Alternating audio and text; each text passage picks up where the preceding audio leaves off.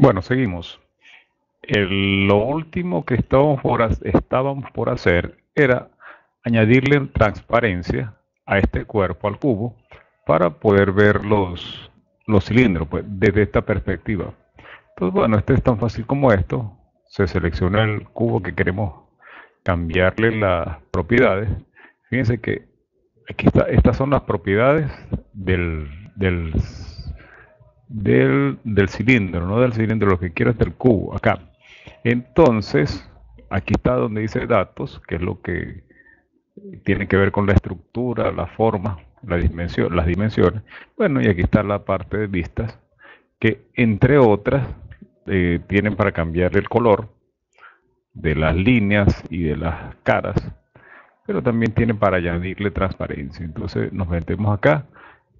Transparencia cero significa que el cuerpo es completamente opaco. Vamos a colocar esto aquí para leer. Y 100 significa que es completamente transparente. Vamos a colocarle, por ejemplo, aquí 80. Y allí, bueno, nos sirve para ver lo que está detrás. Si les parece que es demasiado, bueno, que parece que sí, vamos a colocarle 50. Y así vemos el cubo, pero también vemos a través de él. Bueno, así como eso, eh, pueden seguir escudriñando para cambiarle, por ejemplo, los colores, la textura. Todo eso se puede hacer en donde dice vista. Bueno, vamos a seguir. Estamos, ya hemos cubierto eh, la herramienta esta de crear cuerpos, de crear croquis, de hacer extrusiones, revoluciones. Vamos con esta que está acá. Esto es para hacer un- una interpolación y vamos a ver en qué consiste esto. Y aquí está otro, el barrido de un croquis. Esta y esta se parecen, se parecen un poco. Bueno, vamos a crear el- la interpolación esta y lo que vamos a hacer, vamos a crear dos croquis. Como y vamos a ver el efecto que, que causa esto.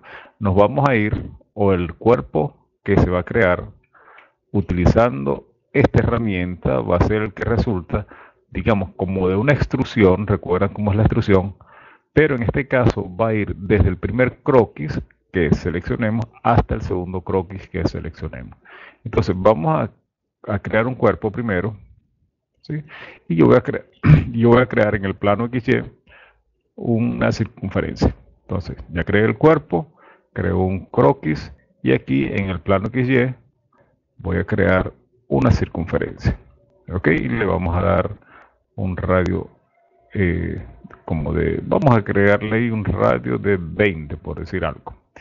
Entonces ya fijamos, ya nos dimos cuenta que hemos fijado el centro, el centro de la circunferencia a este origen de acá. Y ahora vamos a darle el radio a esto, eh, 60, bueno, vamos a darle 50, en vez de 20, 50. Y ahí tenemos una primera, eh, un primer croquis que vamos a usar para la, interpolación. Cerramos esto y ahora vamos a crear otro. De hecho, vamos a crear eh, dos primeros y después agregamos uno más. Creamos otro cuerpo, otro croquis, perdón. Y esta vez voy a crear un cuadrado. Entonces venimos aquí, en el mismo plano XY, le damos OK. Y voy a crear un cuadrado. Eh, nada, vamos a crear un hexágono. Y lo vamos a crear no en el centro, sino por ejemplo por acá. Y le vamos a decir que esto es horizontal. Vamos a restringir el croquis. Y que esto de aquí aquí, con darle una longitud, vamos a seleccionar acá. Y que esto de aquí, esto de aquí, este tiene una longitud y dice 61. Vamos a colocarle 60 y le damos OK. OK. Fíjense, aquí el- la circunferencia esta es del croquis anterior y este es del que estamos editando. Cerramos y ahora lo que vamos a hacer es, vamos a cambiar la posición a esto. Y para ello nos vamos a ubicar aquí en esta parte, en las propiedades, vamos a subirlo, donde dice adjuntado como, aquí, eh, el offset de, de la forma de adjuntarlo, eso es lo que vamos a cambiar. Vamos a ver cuál es el efecto. Y le voy a, a dar, a cambiarlo de posición. Lo voy a subir sobre el eje Z. Eso lo vamos a hacer en el siguiente video. Saludos, recuerden la invitación a que se suscriban, que compartan y a que le den like si les gustó. Saludos.